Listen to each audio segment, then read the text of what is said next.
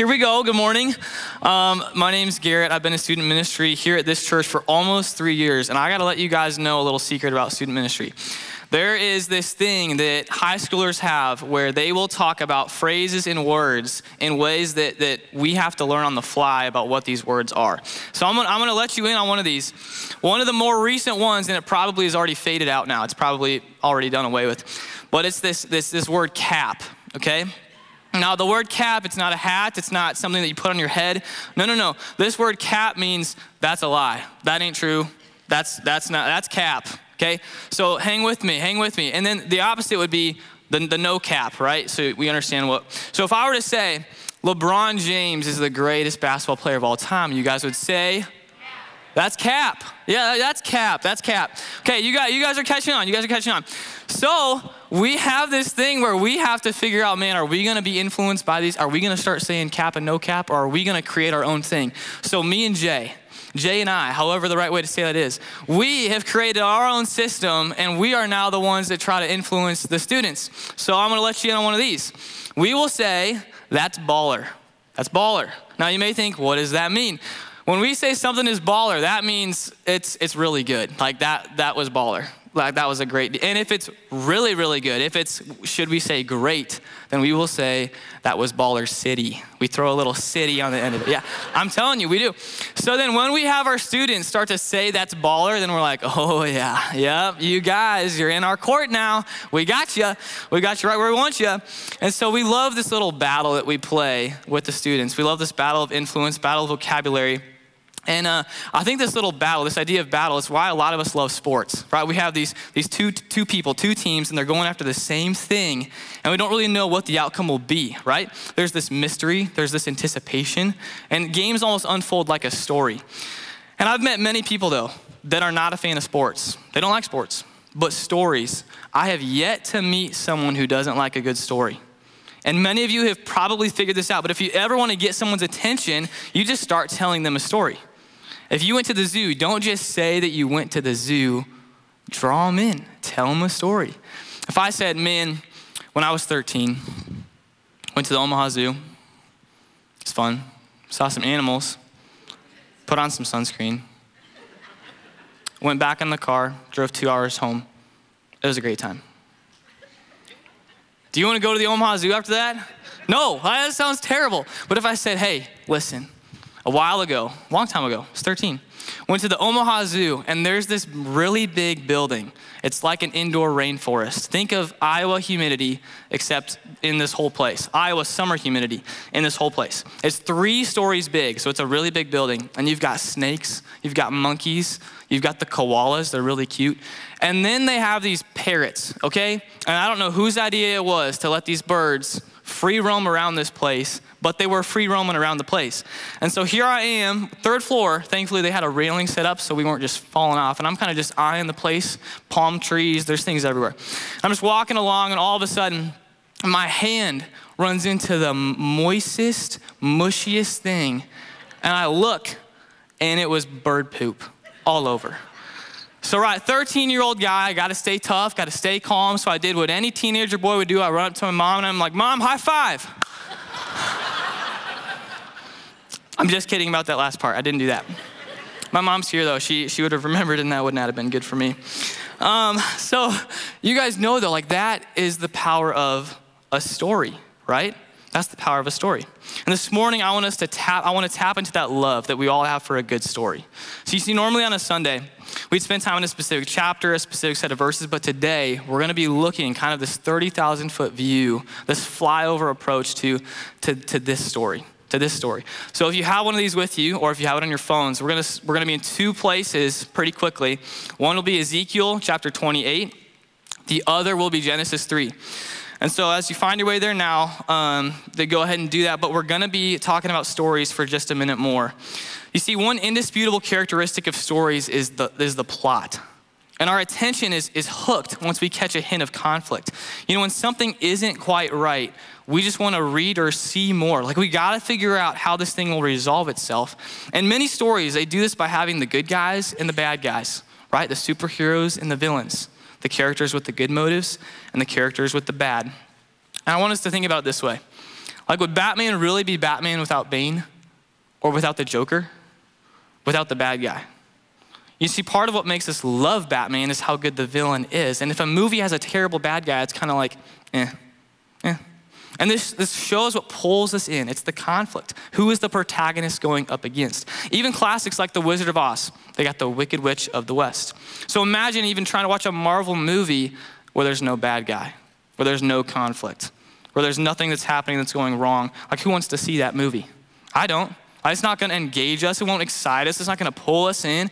And Disney knows this so well. You guys know the movie Finding Nemo. Literally has the conflict in the name, right? Like, oh no, Nemo's lost. We got to find him. We got to find Nemo. You got The Incredibles. They had Syndrome. Buzz Lightyear had Zurg. And have you ever noticed, even when you have little kids sit down to watch a movie, you give them popcorn, do you have to teach your kid to sit down and watch a movie? No way. Like the kids are just locked in, they're zoned in. They automatically have this love for stories built into them. And Disney, they've capitalized on it. They've built a juggernaut of a company. And listen to their mission statement. Part of their mission statement says this The mission of the Walt Disney Company is to entertain, inform, and inspire people around the globe through the power of unparalleled storytelling. They've tapped into storytelling something that we all just automatically engage with as if understanding and interacting with stories was built into our DNA. And so, what if? What if these fictional worlds that Disney and others have created are revealing something deeper within each of us? What if our inherent love for stories is actually pointing you and me to a greater story that we're living in right now? What if God was trying to use storytelling to communicate to us too? You see, if someone were to ask me about this book and just to describe it as simply as possible, I wouldn't say it's a story about God. Oh, did he just say that? I wouldn't. I wouldn't say it's a story about how we should be living or there's rules about how we should be living, but I would first say that this is just a story. And I accidentally used story in the previous definition, but I would just first say that this is a story. I'm not trying to take God out of the description of the Bible because clearly he's all over these pages, but I'm more saying to emphasize it that this right here is one of the greatest stories that we will ever come across in our lives. And I want to make the case that all the stories that we've grown to love and enjoy and the movies that we love, they're really pointing us to this one. They're really pointing us to this one. But we've come to doubt this. We've come to question this. We have thoughts like, you know what? This is old. This is thousands of years old. It's, it's outdated. It's irrelevant. And even when I try to read through this story, it makes zero sense to me. Like, I just don't get it. I don't get it. And seniors, you guys know how this goes, right? When you have that literature class and you have to read that one story by Shakespeare, and it's written in that like King James version where it's the thou shalt doeth and seeth and beeth and all this. You're like, what in the world is happening in this story? And so, seniors, you do what any normal person would do. You pull out your phone, get up Safari, sparknotes.com I need help with this story. I don't understand it. And all the English teachers are like, no, no, no, read the story. Do not spark note it. But I'm telling you, it happens all the time. It happens all the time. And this morning, we are going to need some help with this. So we're going to spark note it, and you're going to see up here on the screen, if we were to just see a big overview of this story, here's what it is it's creation, it's fall, it's rescue, and it's restoration. You see, this first one, we're all pretty familiar with it.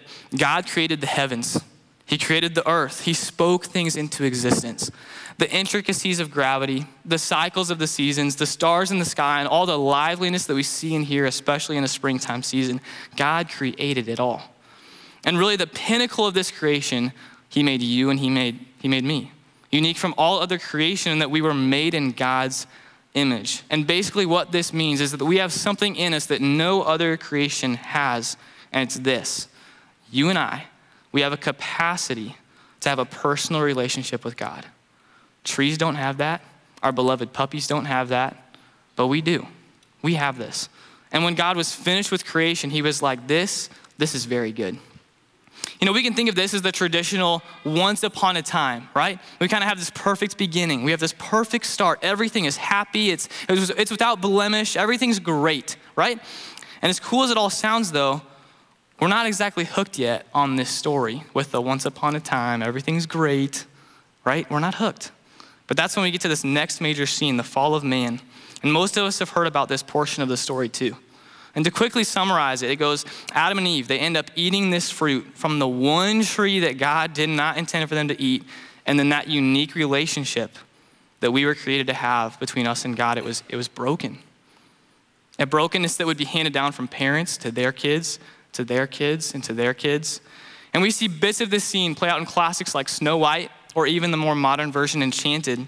There's a reason why in our minds the bad fruit, which what is what is the bad fruit? It's in apple. Yeah, it's always an apple. We actually don't know what it was, but it's always an apple. And we remember it from these stories that we've grown to love. Like if the witch can just get this princess to eat the poisonous apple, she won't be the fairest of them all. Now, if this story was good, if this one was good, we should be hooked, right? There's this moment of conflict. Adam and Eve have messed up, but we're not quite there. Like something's missing. We're not quite hooked yet. And that's okay because you see, the fall that we normally always talk about, the Adam and Eve fall, there's actually another fall that happened before that. And that's where I want us to go to. And so we're going to check it out. So, Ezekiel 28, that's where we're going to start. So, if you have your Bibles, you can flip there. Hopefully, you already did. And we're going to be in verse 12. Halfway through verse 12 is where we're going to start.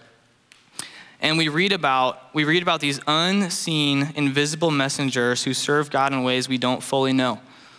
And God gives us a glimpse of angels. And this is an account of a particular angel. So we read, You, talking about the angel. We're in verse 12 of chapter 28.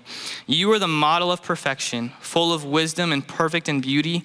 You were in Eden, the garden of God. Every precious stone adorned you ruby, topaz, and emerald, chrysolite, onyx, and jasper, sapphire, turquoise, and beryl. Your settings and mountings were made of gold. On the day you were created, they were prepared. You are anointed as a guardian cherub, for so I ordained you. You were on the holy mount of God, and you walked among the fiery stones, and you were blameless in your ways from the day that you were created. Talk about swagger, right?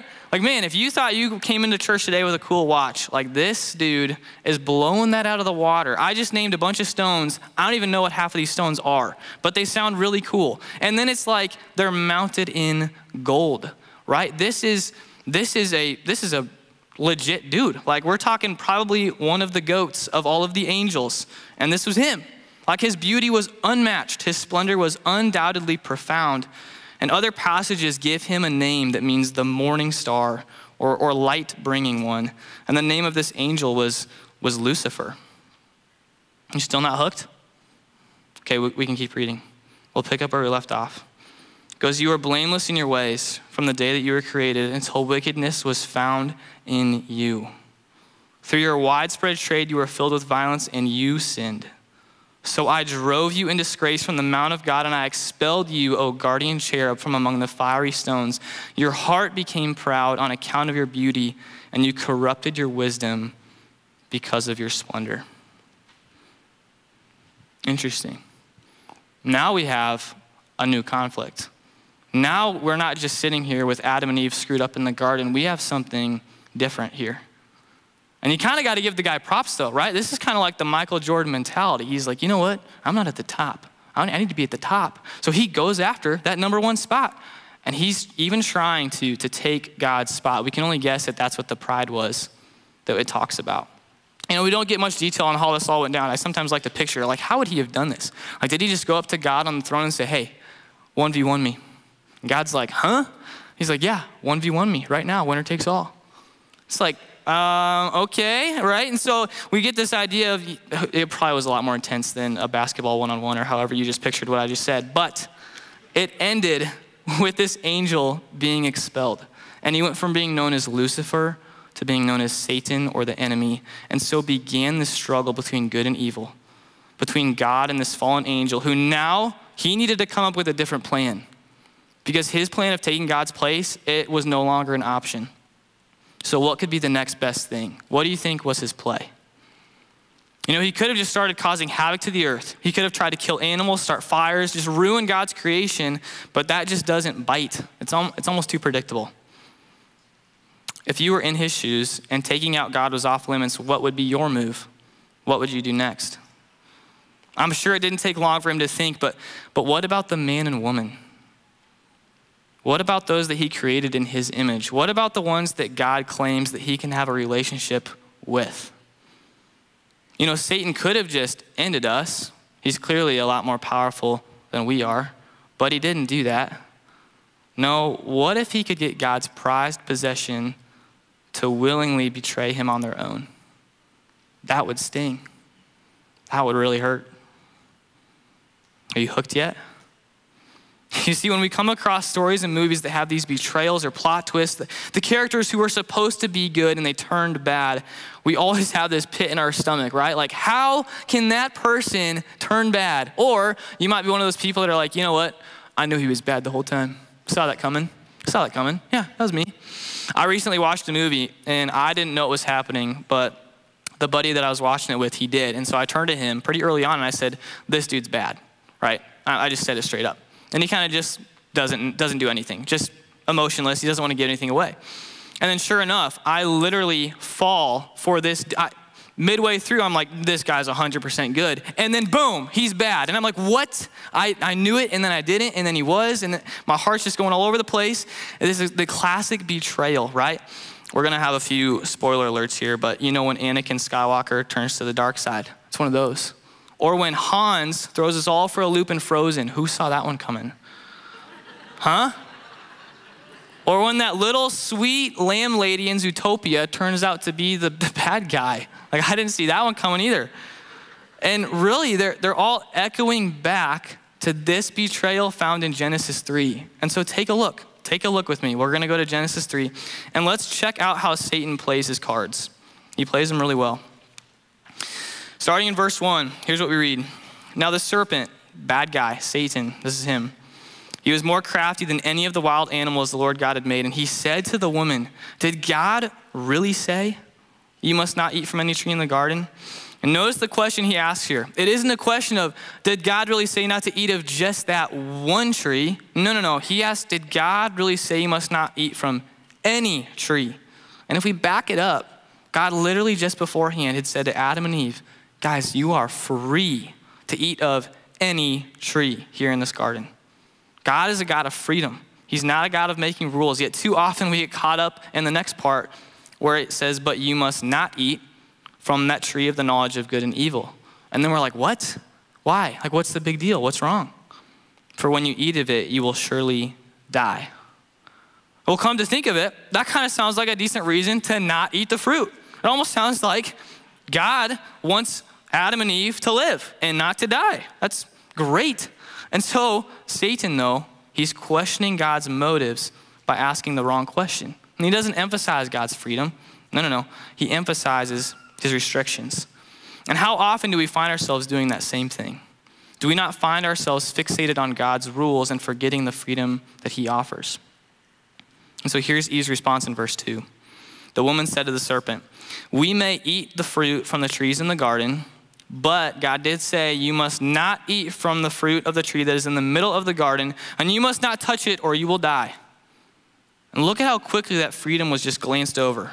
Yeah, yeah, yeah, we can eat of the trees, but you're right. That one, he did say that one tree. You're right. And then she, she just adds a little something in there. Instead of, instead of when you eat it, you're going to die, she goes, even if we touch it, we're going to die. And whether she realized it or not, she's already mis, she's misusing what God had said, and she's adding things on to what God had already said.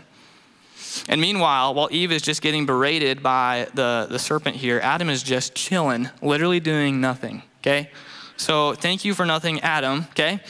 We needed to, we needed to kind of just give him what his due is because Eve is just getting pounded right here. But Adam, he's there and he's just being a doofus. He's not helping in any way, and in any way, shape, or form. So Here's what the serpent says to Eve. Here's his response You will not surely die, the serpent said to the woman, for God knows that when you eat of it, your eyes will be opened and you will be like God, knowing good and evil.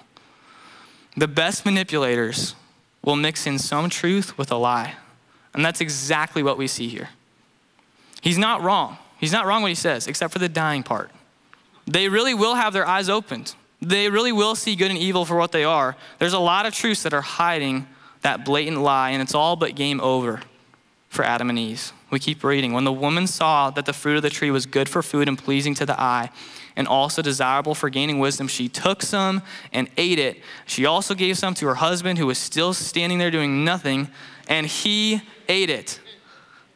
Mission accomplished. Betrayals completed. Now Satan has officially gotten God's image bearers, you and me, to abandon the relationship that once was. And it's the ultimate stab in the back when taking God's place didn't work. So, just to give a quick update on this story here, we are how many pages into this thing? We're like on page two. And this story is crazy, is it not? Like we have we have all the things. We have that once upon a time. And then we have what we think is we're the ones who messed up, but really it was Satan, the one who first messed up. And then since he couldn't take God's spot, he's like, you know what? I got this incredible plan. I got this incredible plan, and I'm gonna go after, I'm gonna go after God's prized possession, you and me. And so we've got this clear bad guy, good guy dilemma. We have this conflict, and I hope it's hit you that you and I, we're in the center of this conflict. We're the ones that are at stake. We are the ones that the spiritual forces are at war over. But before we continue our Spark Notes overview of this story, I really want us to spend a little bit of time making us aware of how the enemy operates. Paul wrote a lot of the New Testament, and he put it this way in 2 Corinthians 2. There's a section where he says, In order that Satan might not outwit us, for we are not unaware of his schemes. And if we're being honest with ourselves, and with how this story has unfolded so far, I, I think that we hardly ever really think about the enemy, let alone how he is scheming against us. So this morning, let's bring some things to light. Let's, let's just uh, like maybe open the opponent's playbook a little bit, right? There's a reason this is cheating in sports. You cannot go look at the opponent's playbook. You're going to know exactly what they're doing. You can't do it. It's cheating. But this isn't sports, and we're going to cheat, okay? So we're going to take a look at the enemy's playbook. We're going to figure out what is going on. And so, getting back to the story, we kind of wonder if eating the fruit is really what did it. If eating the fruit is what did it. Why didn't Adam and Eve, or why didn't Satan just get a normal fruit, hide the forbidden fruit in the normal fruit, and then get him to eat it that way? Like, why did he go full on talking snake mode right in front of their faces? Why did he do that? it's because the enemy, he knows to go after our hearts and not just our actions. It's the first thing we see here. He knows to go after our hearts and not just our actions. See, what makes you as a parent more upset? What is going to sting worse when your kid unknowingly does something wrong or when your kid knowingly does something wrong? You see, Satan's goal is much greater than getting Adam and Eve to eat the fruit. It was to deceive them to their core so that they betrayed God from deep within, and the action was just a result of what had already happened in their hearts. This proverb helps explain how significant this is when we read, Above all else, guard your heart, for it is the wellspring of life. We see what's at stake in this story. Good and evil are in an all out war for you, for your heart. We've been coming at this story from the devil's perspective for a reason because I think at times we can forget that we are in the midst of this battle. And we can almost have this attitude that, you know, we're the ones that are outsmarting God. Lord, I know. I know what I want for my life. Yeah, God, I know you're real. I'm going to give you my Sundays and then I can just take it from here. Or we just dismiss God altogether. And in the case that you thought that you were coming to those conclusions on your own, May this be a reminder that there is a powerful, powerful enemy who works 24 7 to draw you and me away from God. He doesn't just put in the eight to five, five days a week, he's constantly working. And First Peter describes it like this Your enemy, the devil, prowls around like a roaring lion looking for someone to devour. You see, you and I, we're not as autonomous as you may think. We're being pulled and influenced by spiritual powers way more than we realize. And in our Western culture, that is one of the greatest ways the enemy has worked to get us to think about life as if it isn't spiritual. In other words, what you see is what is true. What you don't see, well, who really knows? Who really knows? We've recently been encouraging students to, to reach out and invite their friends to church. And we, we try to set them up for success. Like we do a lot of fun, fun activities. Just a couple days ago, we did a flip flop formal. And we're like, hey guys, invite your friends, get them to come to this. They're gonna have a great time, right? And so one of these students, decided to try to do this and, and you know it's not like we're inviting them to come sit quietly to a service and listen to a message for 30 minutes like that just sounds terrible sounds terrible last last service they didn't laugh at all and i'm like oh boy we are we are in trouble. Everyone's off the train. Okay, so we're, we're right, we're setting them up for success. And so the student invites their friend, and what what the friend does is they end up going to school day after day, morning after morning, and they wait at the front door of the school for this student to come by, and they literally tell him, God's not real. And they did it day after day. And they're just like, God's not real, God's not real, God's not real. And I'm like, you've got to be kidding me. This is bananas. Like we're trying to just have some fun, do a pool party, whatever it is, and then they're just they're just literally going on the offense against this person. And you can tell that that's a heart that has just been turned far from God. And although from that person's perspective, if God isn't real, then the devil can't really be real either. And this brings to light an interesting observation that I think we can make about Satan, and is that he doesn't really care about being worshiped. He doesn't really care about being worshiped. You know, you'd think the dude who wanted to take God's place, he would want all the glory, all the honor, right? All the power that he could get. But truthfully, before he turned against God, he would have been that. He would have been one of the most powerful, glorious creatures up in heaven, and he, he was the angel. So if God's throne couldn't be touched, why even chase being worshiped? Instead, he spends his entire existence manipulating you and I to worship anything but God anything. He goes after our hearts so that we on our own will give glory and honor to whatever isn't God, and that is his play. And so as we look around and we look around at the world, how's he doing with this? How's he doing? You know, it's easy to point the finger outward and notice all the ways that the world is falling into some of these patterns, but it's a lot harder for us to acknowledge it about ourselves. And if you haven't quite felt this yet, you were literally made to worship. You were made to worship. God knows this, but so does Satan. And deep down, we cannot help it but to worship something.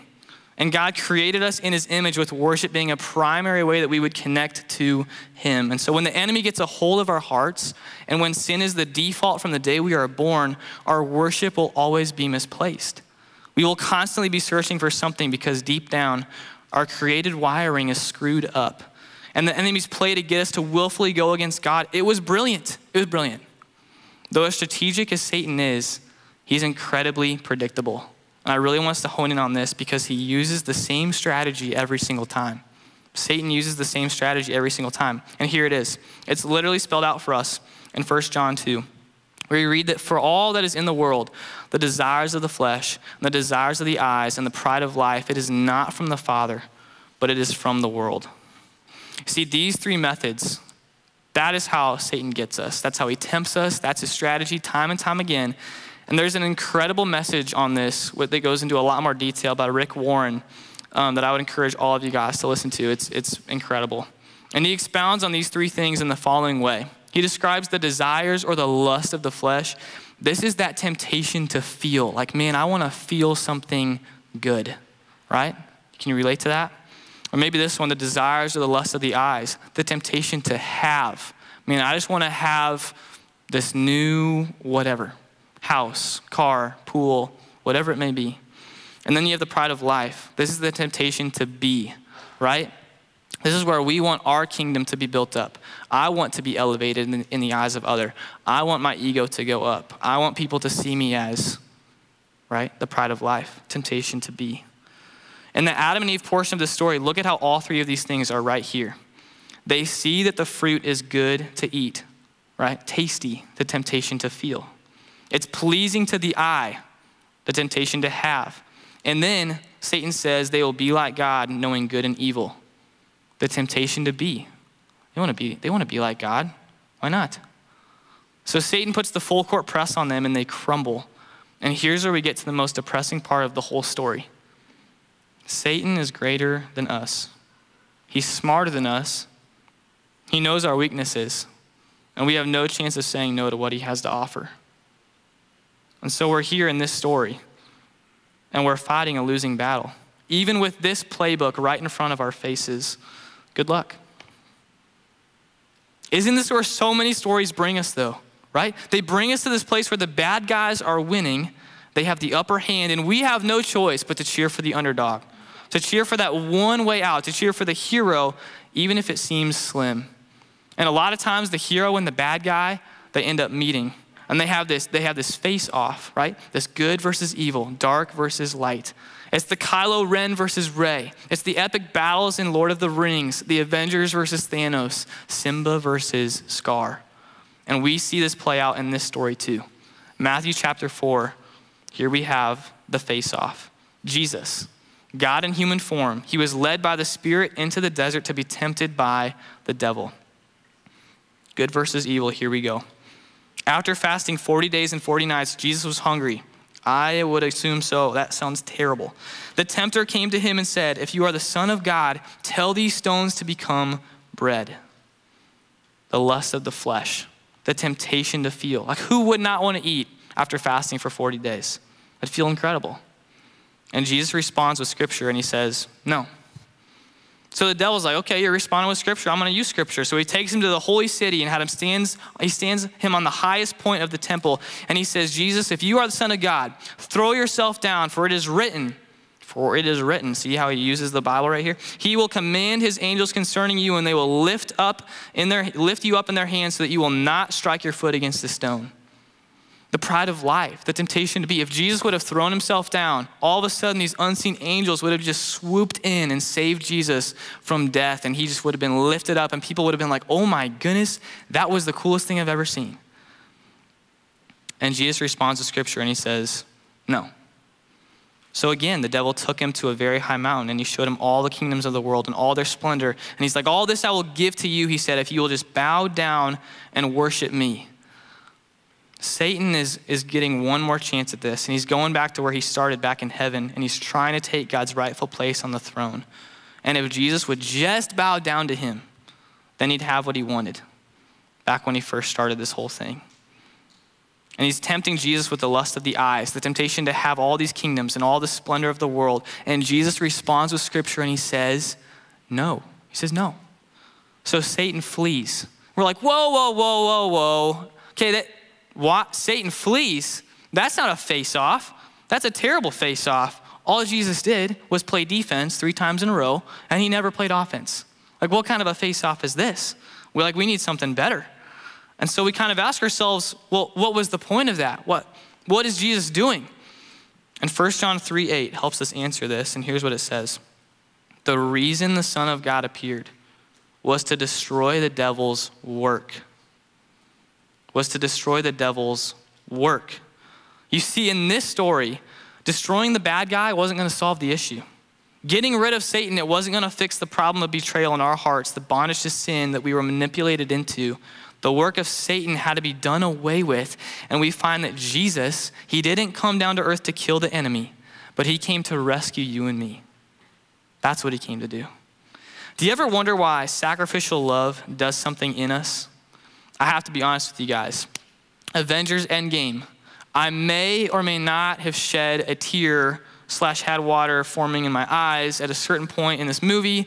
We're gonna have another spoiler alert, but hopefully all of you have seen this by now. And if you haven't, close your ears or plug your whatever, plug your ears because I'm spoiling, I'm spoiling this one because my favorite dude, Iron Man, and I know he's kind of arrogant, but he's my favorite. But to his core, he loved others. And how do we know this? Because Iron Man, not once, but twice, he was willing to lay down his life to save everybody else. And in the end, against Thanos, it did, it did cost him his life. It cost him his life. You see, in this battle that is going on for your heart and for my heart, in this story that we find ourselves in right now, which one gave himself up for you? Did Satan die for you or did Jesus? You see, if someone is willing to die for you, do you ever have to question their love for you? Sacrificial love, it resonates within our hearts because that's exactly what Jesus did for you and for me. It's so messed up, but He let us beat Him, He let us mock Him, He let us ridicule Him and hang Him on a cross to eventually suffocate and die so that He could bear the penalty of betrayal that we deserve to pay. Jesus took your scarlet letter. He took your sin, He took your shortcomings, and all of the hidden things that, that you and I do in secret that we want to keep hidden. He bore all of that and the weight of it all of our betrayal on the cross. And guys, this part of the story, it should blow our minds. It should blow our minds that Jesus became sin who knew no sin so that we might become the righteousness of God. That should blow our minds. And I don't know about you, but that motivates me. That story gets me excited. Like maybe today you've never really thought about the opposition. You've never really connected the dots that your hardened heart towards God isn't really the work of you, but it's the work of the enemy and it's the work of sin. And I hope that makes you squirm a little. Like, I hope that makes you feel uncomfortable, and I hope it causes you to not ignore this story anymore. You see, Jesus faced Satan and his temptations head on, the same ones that you and I face every single day. And he won. Jesus died and he rose again so that his victory over sin and death could be given to you. Jesus destroyed the works of the devil once and for all so that you don't have to live in betrayal any longer. You don't have to live there. Jesus wants your heart back. There's a reason that he doesn't force any of us to love him because it wouldn't really be love. And it really wouldn't be from our heart. And so, as we go from here this morning, I want to encourage you with this. You have a role to play in this story. From those listening who are entering retirement, for the grandparents, to the parents, to the kindergartners, to those of you seniors who are in this room, you all have a role to play in this story. You see, Jesus, he lets us in on a little secret at the end of this whole story, and here's what we read He who is seated on the throne said, I am making everything new. Everything new. And this doesn't at all give justice to the full effect of the restoration that will be coming, but Jesus is right now in the process of making all things new. And so, this is the role that we get to have. We get to join him right now in bringing about the restoration of all things, and it starts with our own hearts. It starts right here. So, maybe you've never thought about the fact that God has a very real enemy who is constantly trying to point us away from him. And, and maybe hearing this big picture story, it really helped you understand the love that Jesus does have for you. And if that's the case, would you let him have your heart? Would you just believe in what he has done on your behalf and just welcome in his forgiveness? Ask him to change you from the inside out, and he will. He will. Some of you, you may feel inadequate. You know that you know Jesus, but man, life is just overwhelming. The struggle is real. And I'd encourage you just to verbalize those things to the Lord. Maybe confide in a trustworthy friend and know that you're not alone. And realize this God isn't only using perfect people. Matter of fact, he, he only uses messed up people. That's who he uses. If we go throughout this story, we could do a whole other message on the murderers, the adulterers, the thieves, the liars, that God used in incredible ways to be a part of his story. And so you have a role to play in this story. This story is still going today, and we're in it right now, and we have a role. So if you're still in this place of maybe questioning and pondering, maybe you do have some doubts still, that's a completely normal place to be. And we're not going to act like we have it all figured out here. And I have questions, and I always will have questions. It's good to have questions. A couple resources, though, I wanted to point us to would be the Jesus Storybook Bible, especially if you have kids. You got to get that thing because it really pulls out how this whole book it is a story. And your kids will start understanding from a young age, like, wow, this is the story of Scripture. I get a, I get a part to play in this story. And then another one that's um, not, as, not as good for kids, but great for the rest of us, it would be a book called Epic by John Eldredge. It's really short, less than 100, 100 pages, and it will bring this to life. Like if this didn't bring the story to life, then read Epic, because it will bring this story to life. I just hope you guys know this morning that, that you're loved, and seniors, wherever you are in here, we're going to miss you guys. And I hope that you guys take this story with you. And I want to wrap up with reading this from, from 2 Peter. 2 Peter 1, verse 16 says this We did not follow cleverly invented stories when we told you about the power and the coming of our Lord Jesus Christ. It wasn't made up. It wasn't made up. The story wasn't made up. But we were eyewitnesses of his majesty. For, we, for he received honor and glory from God the Father when the voice came to him from the majestic glory, saying, This is my Son, whom I love, and with him I am well pleased. We ourselves heard this voice that came from heaven when we were with him on the sacred mountain, and we have the word of the prophets that have been made more certain, and you will do well to pay attention to it as to a light shining in a dark place until the day dawns and the morning star rises in your hearts. And above all, get this you must understand that no prophecy of Scripture came about by the prophet's own interpretation, for prophecy never had its origin in the will of man, but men spoke from God as they were carried along by the Holy Spirit. This story is reliable not because of man, but because of God. God's the one that has kept this. He's kept this story. He's written this story, and He has chased after you and me because He wants our hearts back. He wants our hearts back. And so, man, if He has your heart, you have a role to play in this story.